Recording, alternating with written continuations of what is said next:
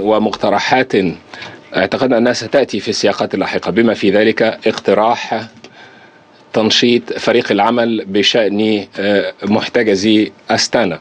ولكن هذا المقترح لم يقبل. ومنذ الثاني من إبريل إخلاء حوالي أربعة آلاف من المقاتلين والعائلات والمدنيين الآخرين من دوما إلى شمال سوريا تم تنفيذه. ولكن في السادس من إبريل كان هناك تصعيد كبير في هناك تقارير بشأن هجمات جوية مستمرة وقصف للدومة وقتل للمدنيين وتدمير للبنى الأساسية المدنية وهجمات تؤثر على أو دمرت مرافقا صحية. وكانت هناك تقارير كذلك عن قصف لمدينة دمشق.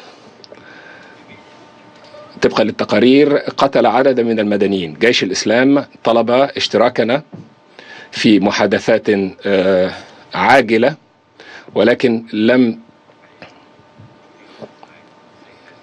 يكن هناك رد عندما أرسلت هذه الرسالة إلى الطرف الآخر. وفي السابع من إبريل في حوالي الساعة الثامنة مساء بالتوقيت المحلي بدأت تقارير في التواتر بشأن هجوم مزعوم بالأسلحة الكيميائية في دوما.